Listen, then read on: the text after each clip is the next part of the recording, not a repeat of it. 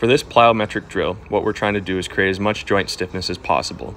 Without allowing the heels to touch the floor, create stiffness in the upper body by flexing the forearm and bicep and making two fists. From there, bounce up and down, trying to get as high as possible while also spending as little time touching the floor as you can.